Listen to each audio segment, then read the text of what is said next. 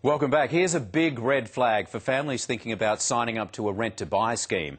Before you put your signature on the dotted line, watch this. Okay. The companies that run these rent to buy schemes are absolutely the winners. You ready? It worked out not good at all. It was easier just to buy the product. It's the rent to buy rip-off, trapping Aussie families. Is, is there a contract time? Yeah, minimum term is 12 months. Um, maximum is 48 months.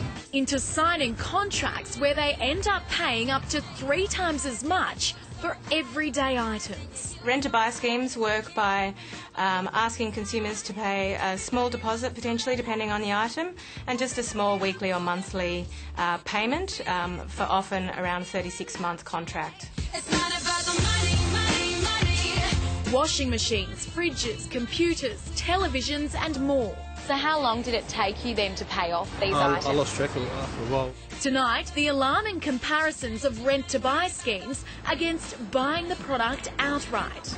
You don't have to do anything today, but if you do your pre-approval, then you'll know where you sit. Yeah. You know, and it takes like 10 minutes. We send our producer Claire Gavin into these stores to expose the hidden fees and fine print. If you weren't going to buy it outright, then they'd go to Plan B, so you'd end up buying it either way. So if we wanted to do an application, this is the stuff that we would need. Plus, our money commentators' tips. If you don't consider the other alternatives, you might end up paying a lot more. Inside National Appliance Store Radio Rentals, our producer Claire is inquiring about renting a medium sized new fridge. So one of those would be $12.71 per week. That's over four years, so the end cost is over $2,600. They don't tell us how much um, the item costs outright. There's a sign up fee of $25, and if you want to get out of the contract, there is, of course, another fee. Um, it's ordinarily six months rental. At RT Edwards, the deal is different. Basically, you can rent a product from us, but you can make an offer to buy it at any time. Claire asks about renting a computer. 12 months, $26.08 per week. The total cost $1,360 for the year. There's no sign up fee, but if you want to get out of the contract, Then you're liable for 80% of the remainder of the contract. to purchase that computer outright, it's nearly $400 cheaper.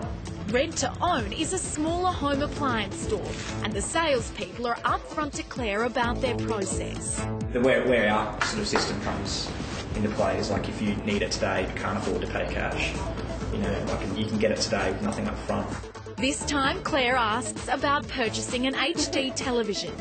Full HD, non 3D is $13.78 in that same site. That's a weekly payment, so the end price is more than $1,400 over two years.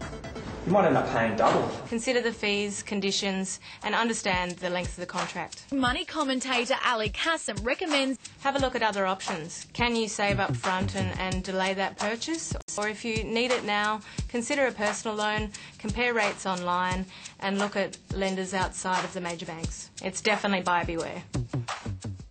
Sometimes it is the only way, but rent to buy is very expensive. One of the leading companies, Radio Rentals, says it has a responsible lending policy, which means only those who can afford it are offered contracts. After